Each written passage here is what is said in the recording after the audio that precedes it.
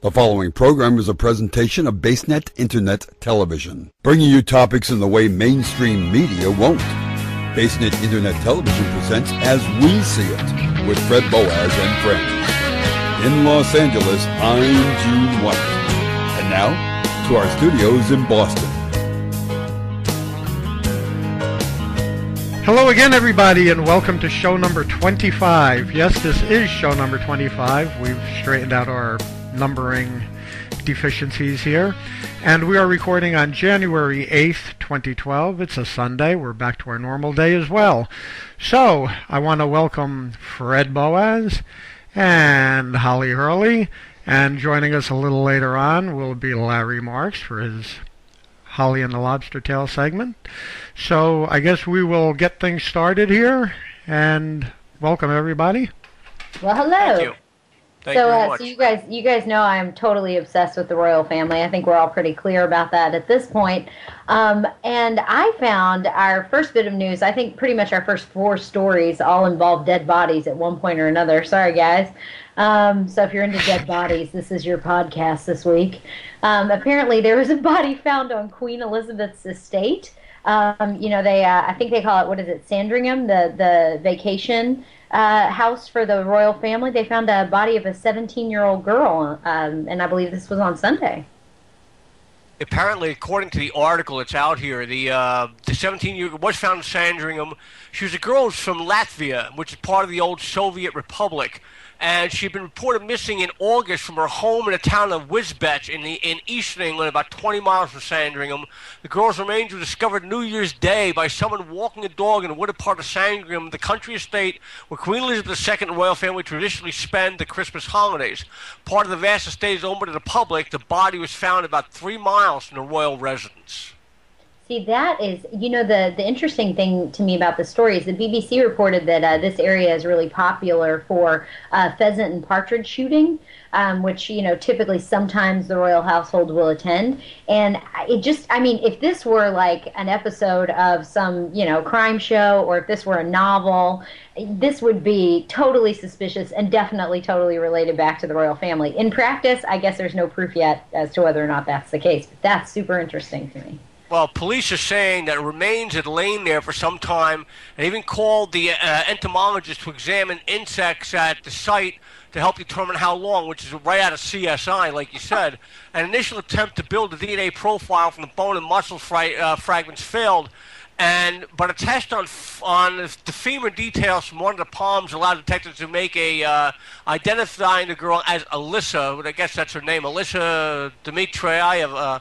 And uh, the death is being treated as suspicious. And as we get more, we will let people know about That that. is, that And uh, this, our second story is about the um, Mount Rainier. The uh, federal park reopens after a fatal ranger shooting. Apparently, and uh, rangers and volunteers uh, solemnly embraced as the Mount Rainier National Park reported to public uh, reopened to the public on Saturday for the first time since a Iraq War veteran shot and killed park ranger there on New Year's Day.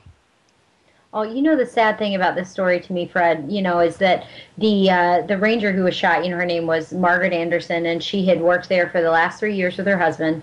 And she was uh, the guy who shot her. You know, he was a he was a vet. He was, you know, as you said, coming back, and he was 24 years old. And they said he already had like mental problems. And you know, the all the rangers are saying, you know, Mount Rainier is supposed to be such a happy place, such a family place, and that you know this sort of thing just mars that. And the terrible thing about it is, you know, here's a kid who's not mentally stable and here are park rangers who are trying to, you know, just do this thing for all the families coming to the park. I mean, just all the way around. I'm so glad that they're reopening, and I just hope that they can move past this. This is terrible. Well, there, there's a section that says that the that the like you said, the park is a happy place, and a uh, park volunteer named Alan Evans.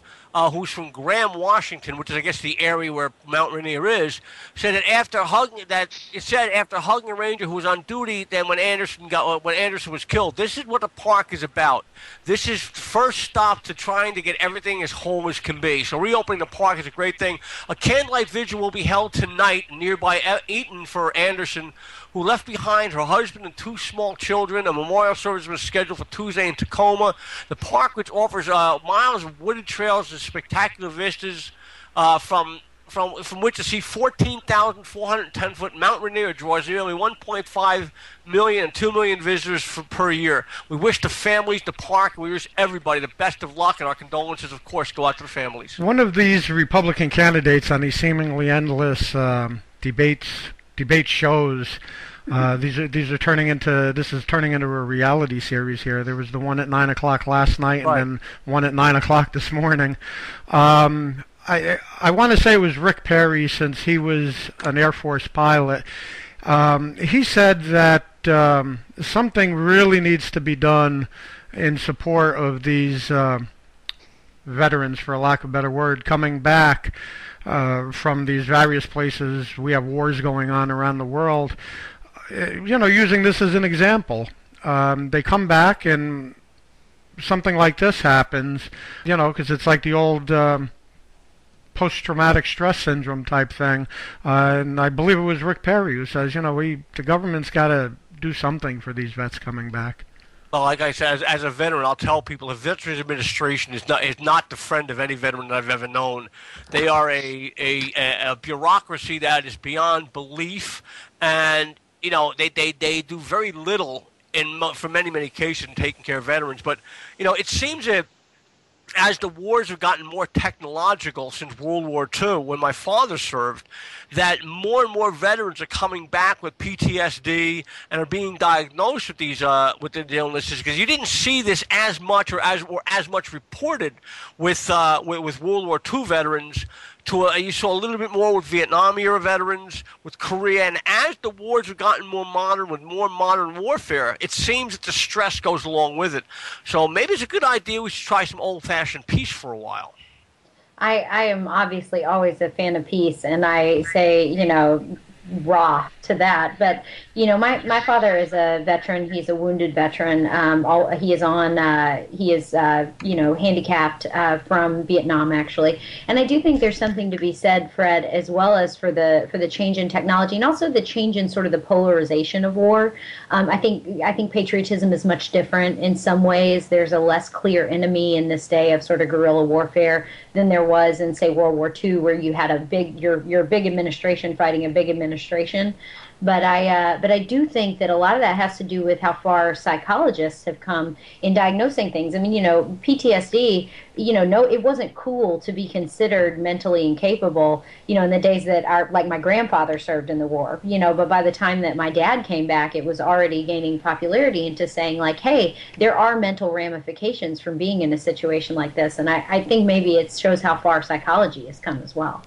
Oh, I, I, I agree with you 100. percent I'm a I'm a world I'm a Vietnam era veteran, and luckily I never had the opportunity. I consider lucky to go overseas, although I would have if I'd been called. But the idea that that you know these people we, we get the the, the tech we've gotten some modern medical techniques out of this that we wouldn't have had normally. Uh, very good surgery techniques have come out of these wars.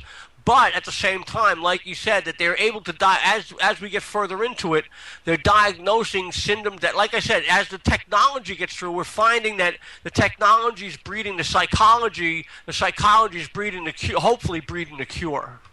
I would hope so. And speaking of uh, speaking of rights that one would want to go abroad to defend, uh, you know, a, a, teen mom actually shot and killed an intruder with a 911 dispatcher on the phone. I mean, you know, when you you think about someone breaking into your house and you call 911, you hope two things: one, that they get there before anything happens, and two, that nothing's going to happen to you, or you'll be able to keep something from happening to you. This girl was armed. It says in the conversation she said to the dispatcher i've got two guns in my hand. Is it okay to shoot him if he comes in the door?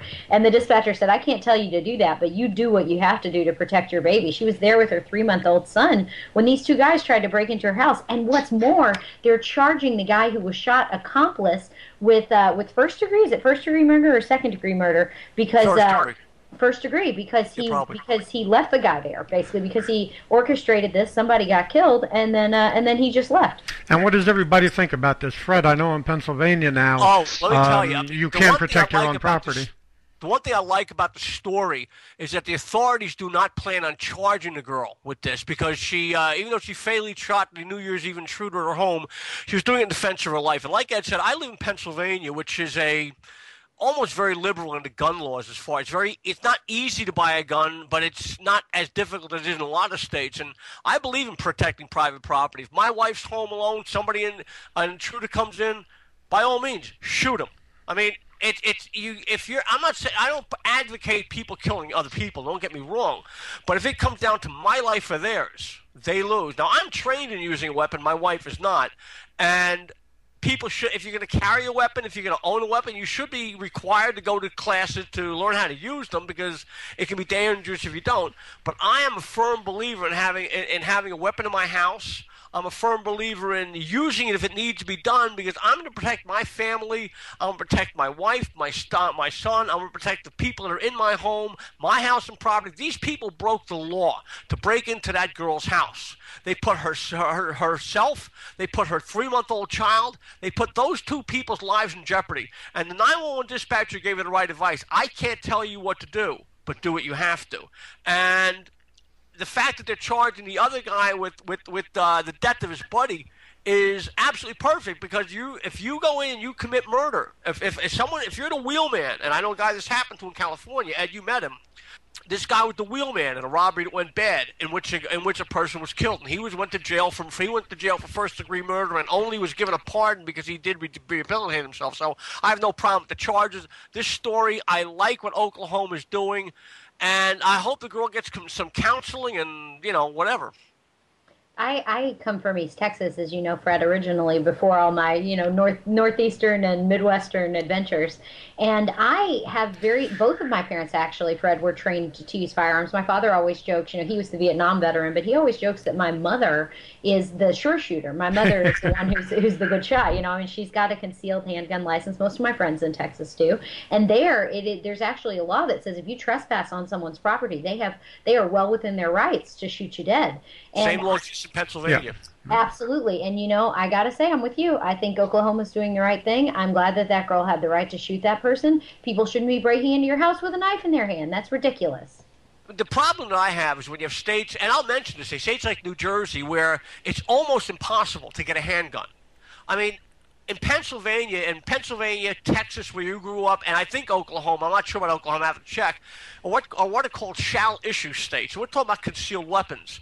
In Pennsylvania, as long as you have not been convicted of a felony, the sheriff's department shall issue yeah, a concealed weapons issue. permit. Yeah. And that concealed weapons permit is good anywhere except the state capital of Harrisburg and, and Philadelphia. Philadelphia. But you can ca- but you know, concealed means concealed, and you have the right to carry concealed. And I can, and that concealed weapons permit in Pennsylvania is good in in 14 other states, one of them being Texas. So I could visit your parents in Texas and carry my concealed weapon in Texas with my Pennsylvania permit. And, and for, I like that. And for any weapon as of the second permit, the first permit you could only register one one weapon.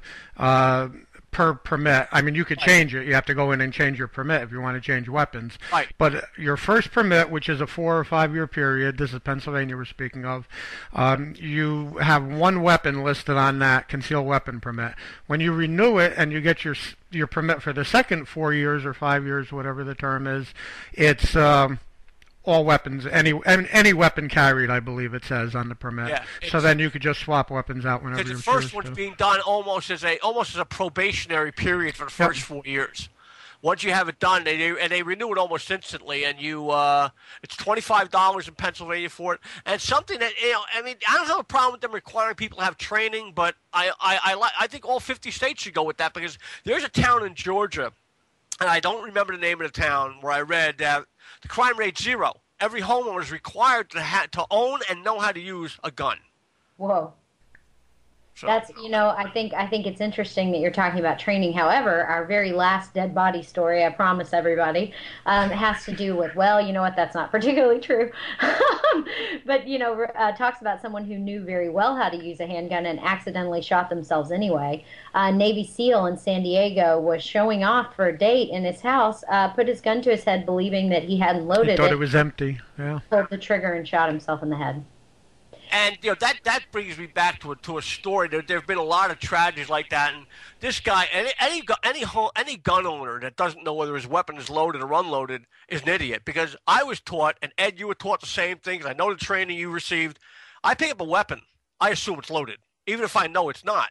And you and I have handed weapons back and forth in California, and you hand that weapon out as if it, I've handed you empty weapons with the with the cylinder open. You I'll tell that. a, I'll tell a funny little anecdotal story here. Fred and myself have a longtime friend. Obviously, no names are going to be used, and especially because of the story. But we have a longtime friend that we've known 30 plus years. Um, we were visiting a relative of his. I'll change the story around a little bit to protect the innocent. Yes, we were yes. visiting. We were visiting a relative of his, and this relative had a handgun collection. So he took out this one particular model to show us all, and he hands it to Fred and hands it to myself, whatever, and we're all looking at it. And one of us hands it to our mutual friend, who it was a, happened to be a revolver, slams the um, the cylinder closed, and starts pointing at everybody in the room. You know, now there's there's the example of okay, we all knew we everybody knew this thing was empty, but you don't play games like that. You don't close the cylinder in the case of a revolver and then just start, start pointing it at people. And he didn't have the weapon in his hand for very long. And needless, yeah, needless to say, uh, he kind of got jumped, and that was the end of him holding onto that weapon. I mean, I've handed you my own my own personal weapon. Every time I handed you my personal weapon, it was the cylinder open, handed upside down, pointing with the barrel pointing away. You, know, it, it, you just do that. So yeah, so your point, Fred, was that this this guy, uh, you know, pointing it at his head and pulling the trigger. A, a reasonable person wouldn't even do that, so that's Well, crazy. About All I've got out of these first four stories is that you guys know some crazy mother truckers. Oh yeah, Well, you got to understand. About 15 years ago, and maybe maybe longer than that, there was a uh, a television star who starred on a show called Voyagers. A guy named John Eric Hexum, he killed would, himself, uh, didn't he? Yeah. who had been playing, who was uh, picked for a part for his next show that he was going to do, and was playing around with a blank pistol. Now, people don't understand that blanks do fire around. They fire a small cap. He put it up against his head, pulled the trigger, the cap came off, and went into his temple. Piece of bone went into his brain and killed him. Right. So you got to understand that the that people have to understand the, the handguns are not to be played with. They're tools in the trade. They're not toys. And well, again, our sympathy to the Seals family, but what he did was just plain stupid. Especially for a SEAL with all of their training. This isn't some raw recruit that just went to uh, in, into the army. You know, this is a SEAL who certainly should have known better. If again, you know, if we've known better, and I just told a little anecdotal story, so obviously we do know better. If we know better, how could a SEAL not know better with their training? And he, uh, again, you got to assume it's loaded. And you know, and that's the point. Whether if he thought it was unloaded, don't think. Holly? Don't think. I, I just. I was just gonna say amen and just you know, I mean that's that's the key that's the key element there, Ed, as you said. Like, I think I think we I think we covered it. I was just I was just agreeing. I just said amen. All right. Well, who- yeah. who's next? Well, the the next bit here, basically, we have a lot of tech news, and I guess we should probably start with the Consumer Electric Show. I mean, unanimously, it seems like the uh, the tech related media is just slamming this year's show. Yeah, They just basically said there was nothing good that came out of this, and that everything was standard quo. But here's what I got out of this, and I I want to hear all of your thoughts on this, actually, Ed, because I know you follow tech news really closely you know, um, they, they say that every year for years, the strategy that Apple has taken is that they never present, but they go to look at what other people are doing. Yeah, Apple never uh, really did much with CES because up until a couple years ago, their big show was Macworld, and Macworld um, was where they would release new products and everything. They pulled out of Macworld a couple years ago. Uh, I believe the Mac. The last Macworld in Boston was their last Macworld. Uh, but anyway, CES was never really for Mac. It's never really even, again, remember it's I just used the term CES. It's uh, called CES, but it stands for a Consumer Electronics Show. And I Uh, keyword consumer or keywords consumer electronics, not necessarily hardcore tech stuff. You know, where your Microsofts or your Apples and so on and so forth are specifically. Well, but now Microsoft gave release the keynote speech. Yep. Well, a because Microsoft is actually it's anticipated. I, I still, as of even today, haven't heard the definite word on it. But Microsoft is supposedly releasing a new game console or announcing a new game console Another at one? CES.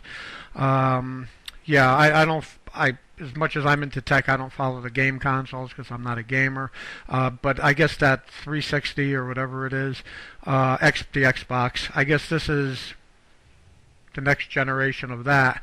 Um, so supposedly that's about it. At this year's CES, outside of maybe some uh, GE or Whirlpool refrigerators that are coming out, because remember again, CES does cover appliances like that as well. On the regular tech type things coming out, I guess this new game console might be about the only thing. Uh, so yeah, just from what I've seen, I agree with you, Holly. Uh, these tech people, uh, CES is a bomb this year. Well, and you know, I mean, I, I actually found the most interesting thing about this story, you know, is Apple's uh, Apple's willingness to send someone but not to go. You know how I feel very polarized about Apple. I love them as much as I hate them. I'm I'm on that like line of like being totally obsessed with them and really loving their products, but also totally feeling like their business practices sometimes are just so they're almost on the verge sometimes like being patent trolls and i know we're going to get like t- tons of like hate mail about that but good bring it on we could use some emails um, you know I, I feel like my my issue they've gotten in trouble before because they tried to file a patent for something that Android had presented at a CES uh, in years previously that the Apple people had obviously. Well, that's that's still not over. That's still not over. Um, oh yeah. It, it, started with Steve Jobs. Steve Jobs made the comment that uh, he's going to bury Android and Google. That he says it's a stolen product and he's going to bury them. And Apple's continuing along with that even after the Jobs era. Which is just, well, I mean, all of the evidence points to at this point that he just he just you know basically wished he'd come up with it for you know they had already released it, put it into production before Apple even mm-hmm. you know had had had said boo about it. And i just i don't know. Sometimes i get so angry because i'm like you know apple you have so much to stand on. There's no reason for him to start a battle with flash. There's no reason for him you know like all these vendettas that steve jobs got into especially later in his career you're like it's just not necessary. You're powerful enough. You don't have to play like yeah but in a lot of ways i think they want to save face because they uh, I mean, even though Steve Jobs is no longer with us, he a lot of the a lot he created a lot of animosity in the industry. There are people who are after him. I mean, Apple's going to be around for a while. I just bought a new iPod for my kid. It is what it is. Anybody I mean, a gamer? It's out there. They, they don't who here is a gamer? Who's going to buy this new Microsoft gaming console if there well, oh, is one? My, Microsoft. Well, I'll, I'll, probably wind up with the damn thing. Who you kidding? yeah, you know, I've, you're not. the one out there now. Yeah, you and I are in the same boat there, Fred. The uh, the gamers in our household are not us. I mean, I, not for nothing, but you know that, that there's a, a, new PS3 that came out recently with 160 gigs, and my son turned two of them in, plus some money from us to um, to get the three to get the new 360. So you know, it is what it is, and you know, it, it, it's they got the um, the Wii Fit, they've got the, the little Kinects things to it. I mean, this stuff can go on the internet. It, it amazes the hell out of me, and the graphics on these games are like watching a real TV show. I mean, yeah. it's unbelievable. Valley. That it is. Uncanny Valley. I think it's creepy. I think it's in the uncanny valley, as they call it. You know, that's that's the uh, the tech nerd term for things that are so close to real that it's more creepy than it is good and that's just what I think. Some I think some of these video games are so uncanny valley. It just makes me. I can't even watch them. I'm like, oh, that's too weird. What else did we have in tech? Did you have anything else there? Well, well this about, uh, scientists are talking about the fact this came out of Washington. They claim to have created the smallest wires ever developed in silicon, just one atom tall and four atoms wide. What I'm trying to figure out is how in the hell am I going to get those things around my lights in my house? Well, I wonder. Yeah, I wonder how you're going to push anything through it, whether it's traditional electricity or if it's. Uh, optics. It's got to be science, uh, so science specific. Whether, whether it's optics or you know true electricity, as I said, I, I wonder how you could push anything through something that small. Well, essentially, they say that they say that Ohm's law applies. That it holds yeah. it holds basically that it has to do with uh, resistance and voltage, and not right. to the actual that the electrical the current. Size. So it'll still still flow, right?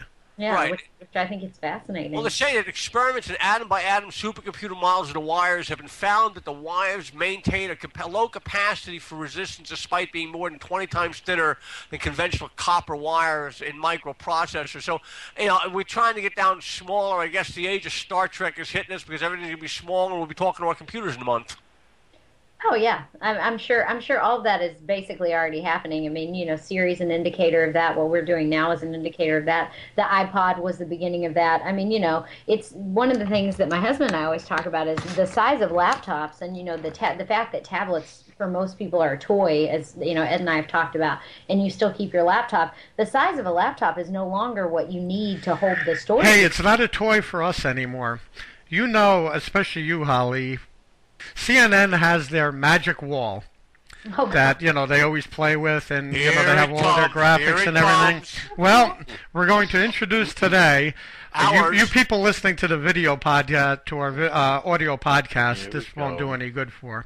Here we but go. you, but you folks that are watching this on out. video or will watch our future video shows, we are premiering today our BaseNet video magic tablet. okay. Now we we do have a very nice picture. Let my camera just adjust. There we go. There's our old BaseNet logo. We so Oh, that's now funny. we have a a BaseNet Magic tablet. So on our video shows, CNN, you might have your Magic Wall, but we have our Magic tablet. Oh yeah. Oh god. I just threw up in my mouth a little bit. Oh, that's funny. Well, speaking of uh, technological advances that may or may not be useful at all, uh, Vizio uh, is thinking that they're going to really blow the PC market apart with their new super slick. Uh, well, they could at the anticipated pricing. Yeah. hmm Well, you know, it worked for Apple. The thing about anticipated pricing is the the issue right now. Um, to talk business speak for like five seconds, the issue right now in the in the uh, PC market is that it's a what we like to call almost a perfectly competitive industry. In that the products can't differentiate themselves for one another. They're all pretty much providing the same technology. Intel actually had a lot to do with that, but that's a story for another day. Um, in the same system, so the hardware people are being able they're actually at a loss on most uh, most hardware companies for computers actually operate at a loss in the PC market and that's why Apple is considered right now by business people to be such an anomaly is they found a way to differentiate themselves to get people to pay a lot more Yeah, because they're a hardware company, not a software company. Right, but they but they found a way to get people to pay a lot more. I, so hardware companies I'm speaking of. That's actually why I say Right. Intel has changed things because Intel uh, still still requires an enormous premium over what it costs them to make their chips. But the computers, the hardware that carries those chips, because all of them now Intel has developed such a brand for themselves, all of them pretty much carry more or less the same processor. Uh, the hardware companies are not being able to demand the premium except for Apple. Apple is a total like blockbuster anomaly. So what Vizio is trying to do essentially with their new with their new models, uh, people are thinking is basically try to break out of that. Yeah, low-end desktop or laptop computers. Um, yeah, well, we'll just have to see. We'll have to see how the quality is. Uh, I know they're showing off these products at CES. Um, CES, by the way, is in Las Vegas. They, um, you know, it's a, it's a low-end product. It's kind of like what Gold Star used to be before they merged and became Lucky Gold Star and then just shortened it to LG. Uh, the original Gold Star was That doesn't mean life's good. the uh, yeah the original Gold Star company was a very low end. In some cases, legitimately a crappy product, um, but they evolved into something pretty good. Um, so you know we'll we'll see what happens with this. This this isn't a new brand. They've been out there for a while, uh, selling different various different models, and you know they've uh, carved out this niche as being a low priced uh, product. So we'll see what these are like.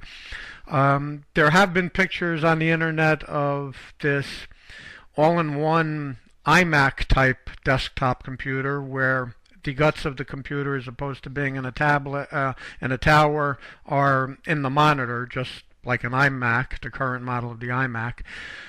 So you know, uh, probably lawsuits from Apple coming for that. Okay, lawyers, clear your desks on this one. Um, so you know, we'll see where this goes.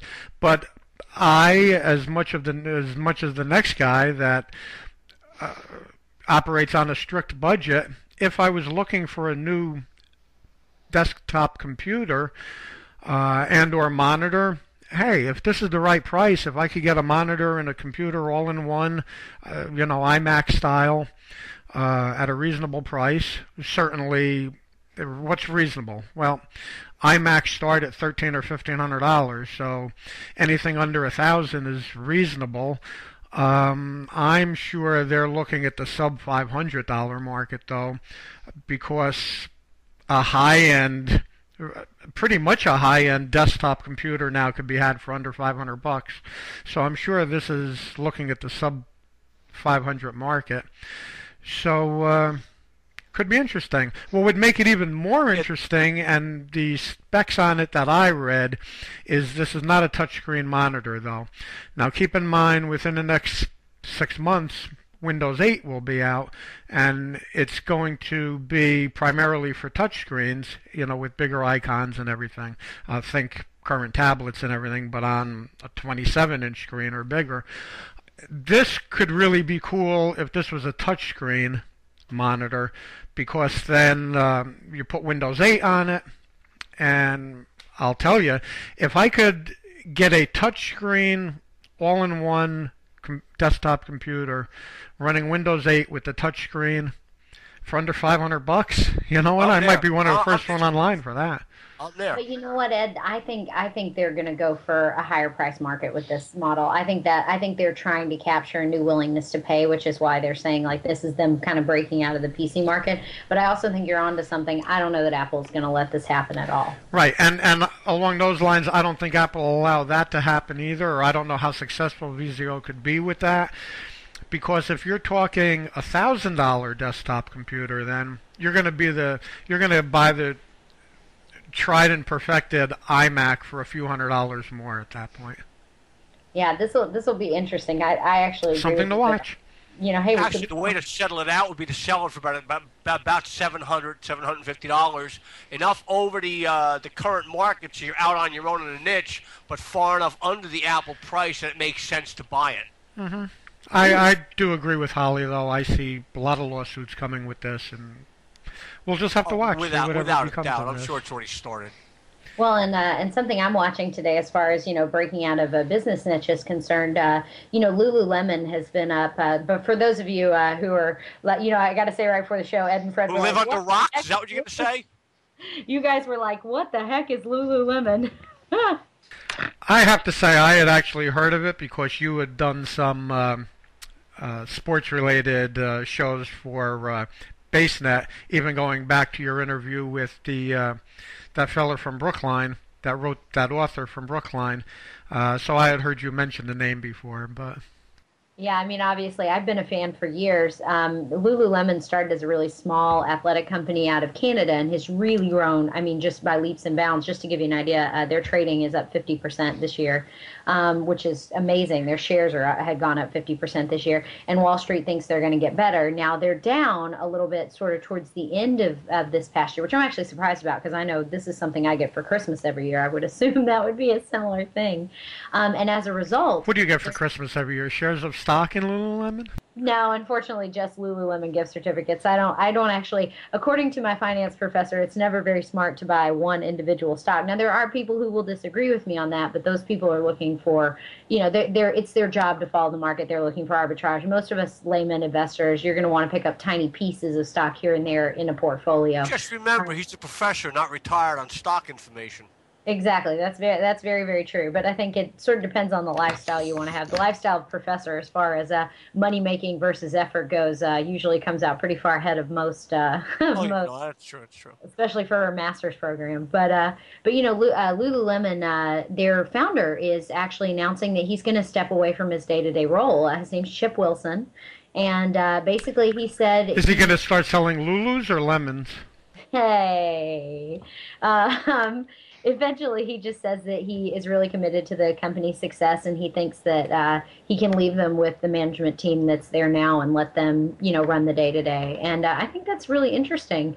Um, at, especially you know we are talking about willingness to pay you know nike's down Nike's down this year and they've been down for a lot of the year. Under Armour, however, is up. And so I think it really talks about how this willingness to pay that we're talking about with the Apples of the world, um, with the, you know, with the Lululemons, you know, these companies that are small and differentiating themselves are uh, actually surviving and thriving in this market. I actually did a study on pet food recently that says something very similar. You know, where people are spending their money, they're spending more with these small with these small sort of luxury companies that have developed this quality uh, perception. Do you know how it's a do you know how a company like this uh, Boston-based company New Balance fits into the? Uh, I can I can look for you actually real quick. I'm not sure about how New Balance is doing lately. Are they Um, into uh, real like high-end athletic uh, stuff, or is it New more? Balance is a New Balance has always been has always been uh seem seem to be the uh the, the street shoe of the man. You know, the the, the shoe of the common man. Because I mean, they're not that overly priced. right, right.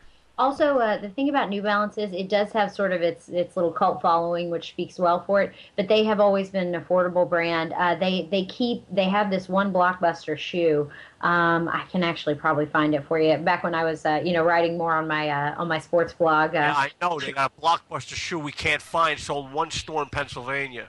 Oh well, that's I'm sorry about that, but the the shoe that that's their big shoe actually is every store that carries them. When I was at City Sports, there's nobody who didn't carry uh, New Balance. And let me type in a number. No, no, no, not Balance. The specific shoe itself is only carried by one one company in Pennsylvania.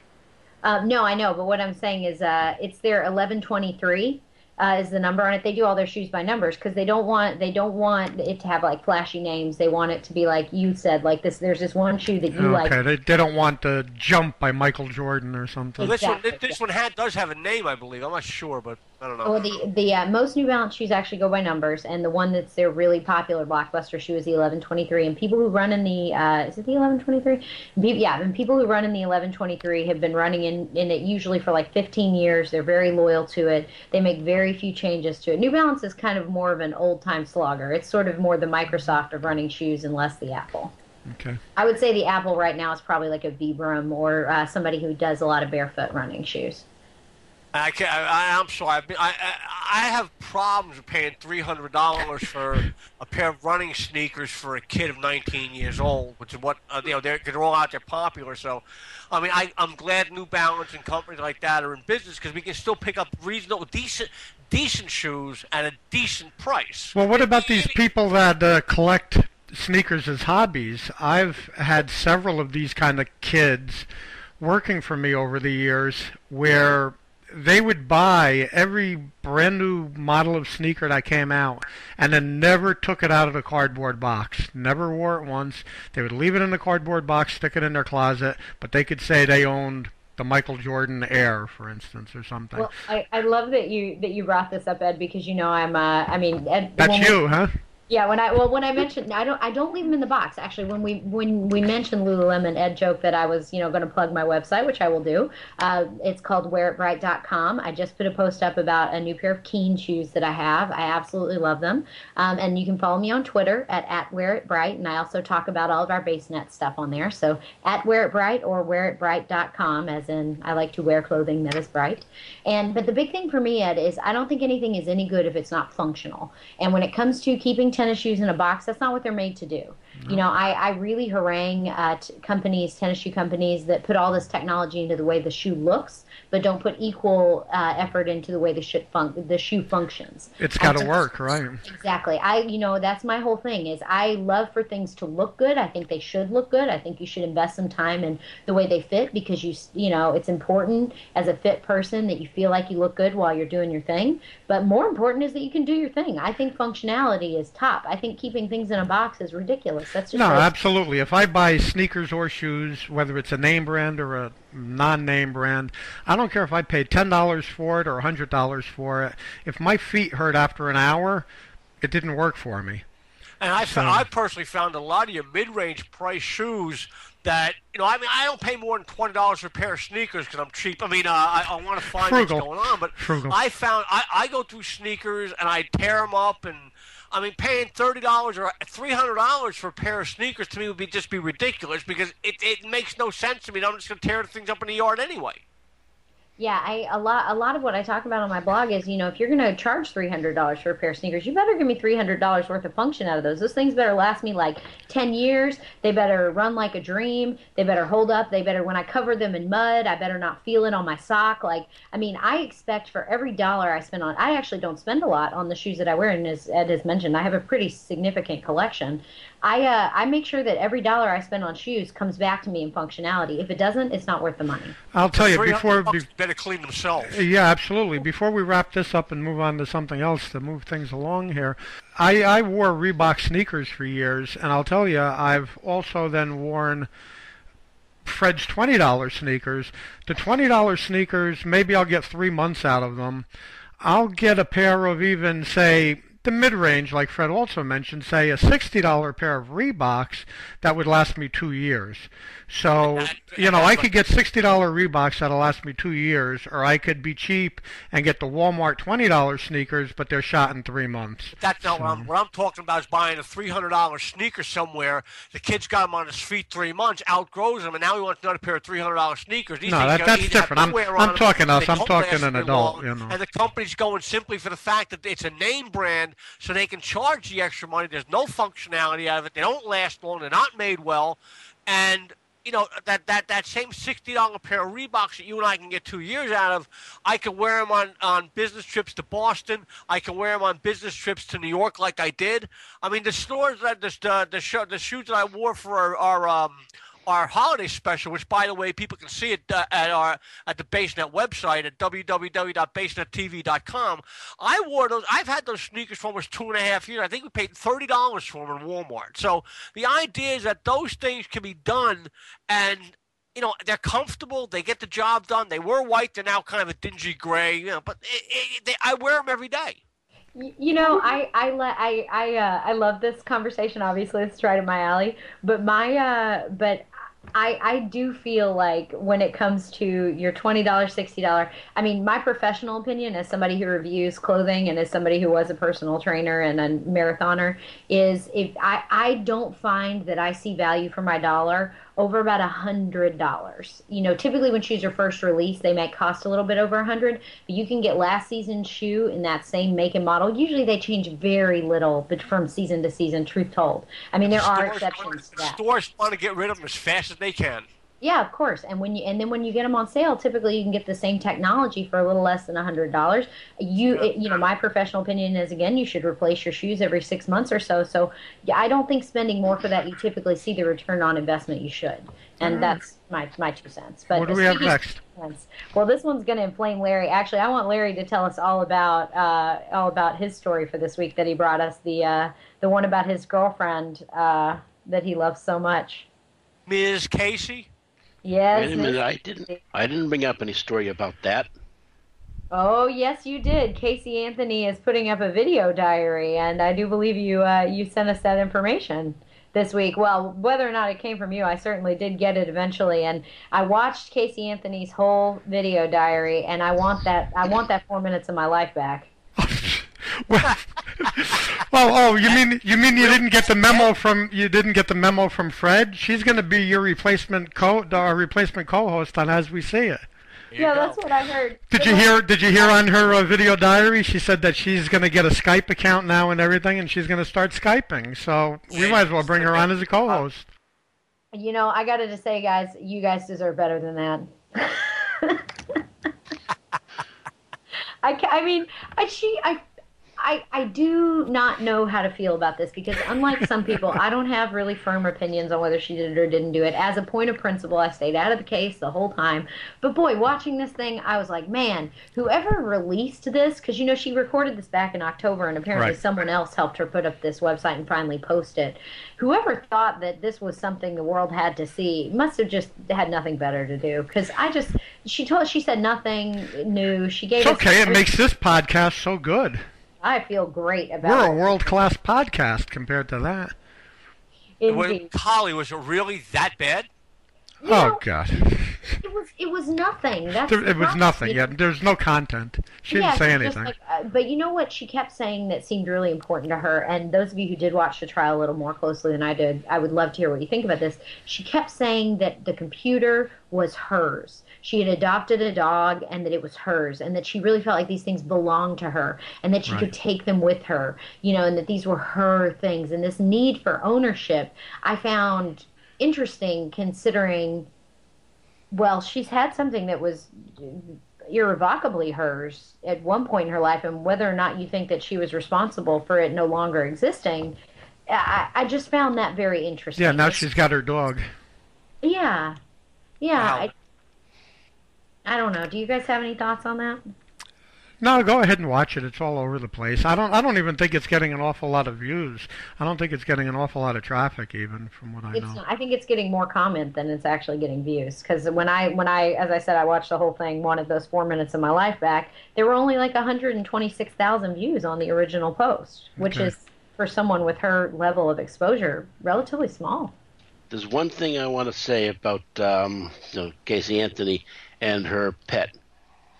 Maybe they should take a DNA sample now so that if the dog mysteriously ends up dead, maybe they'll have a way to prove that she did it and that she killed the dog. Dum da dum dum. And it's it's up to a half a million views now. oh, there you go. Well, See what see what exposure on BaseNet does. All right, so let's uh, go to another exciting of Holly and the Lobster Tales before we wrap things up. Larry. Okay, first one is the Philadelphia Mint. Okay, produces 26 million pennies a day. what a waste. Yeah, I know. really, I thought they were doing away with pennies.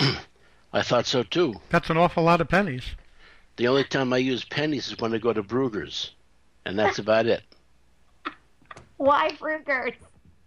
Because it comes to, because the breakfast I have it comes to like five dollars and twenty two cents, and I can get rid of two pennies every day when I go to Bruegger's. Larry, Larry, use a debit card. Bank of America is not going to charge five dollars a month service charge. Use I a debit know. card. I know. I thought I we know. didn't like Bank of America.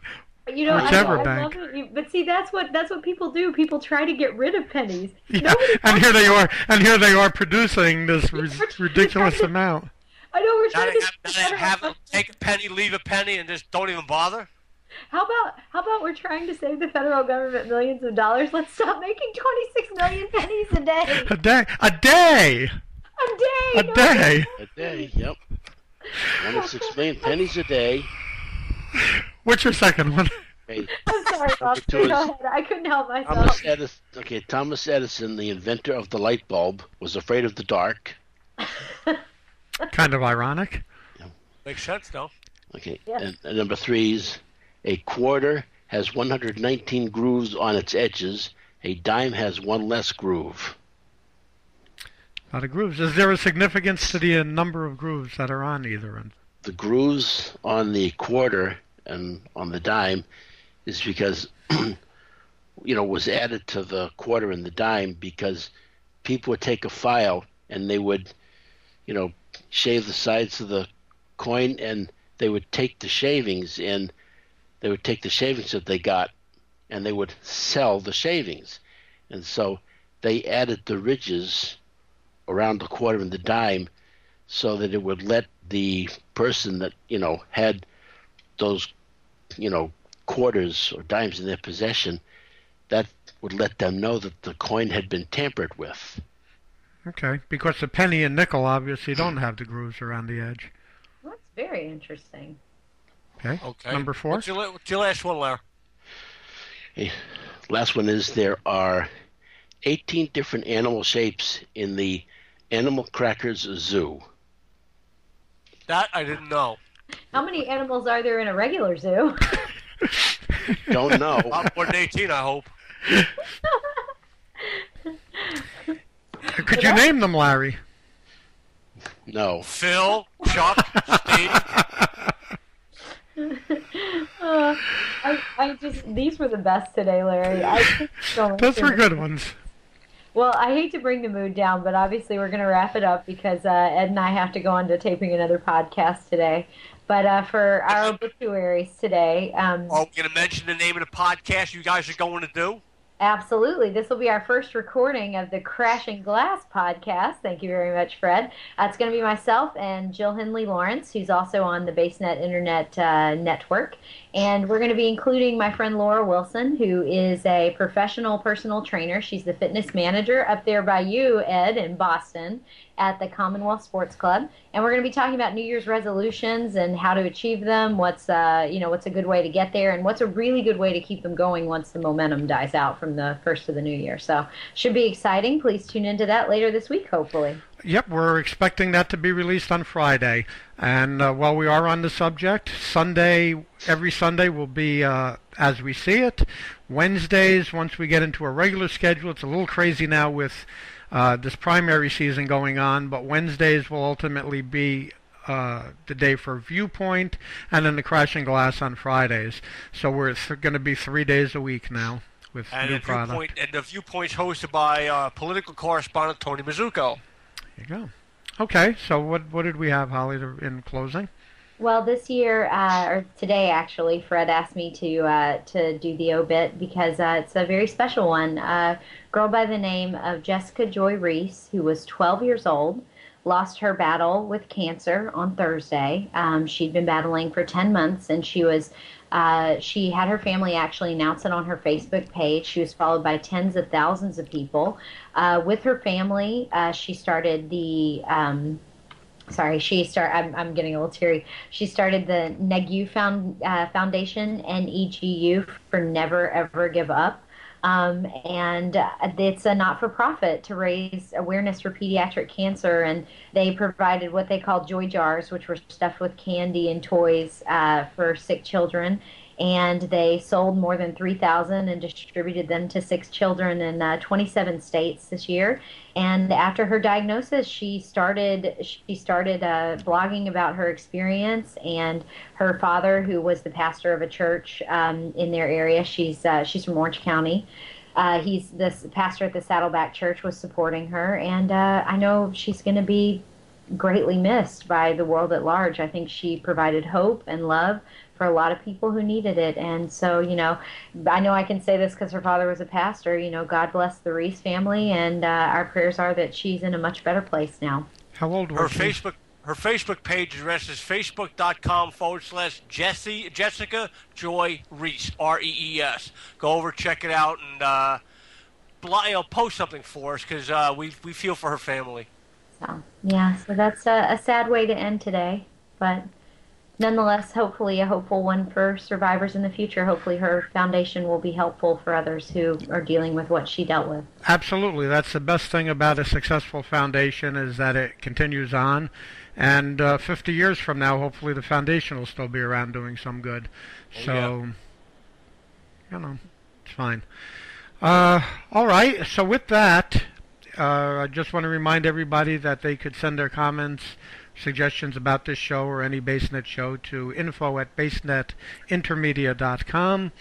Uh, visit our website at basenettv.com for all of our programming.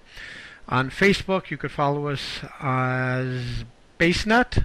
On Google Plus, we are BaseNet Internet Television, and on Twitter, BaseNet TV. From Boston, Massachusetts, I'm Ed Jupin. From Swiftwater, Pennsylvania, the Pocono Mountains, I'm Fred Boaz. And from St. Louis, Missouri, I'm Holly Hurley. And from Brookline, Massachusetts, I'm the Lobster. We'll see you next time. Good night. Bye.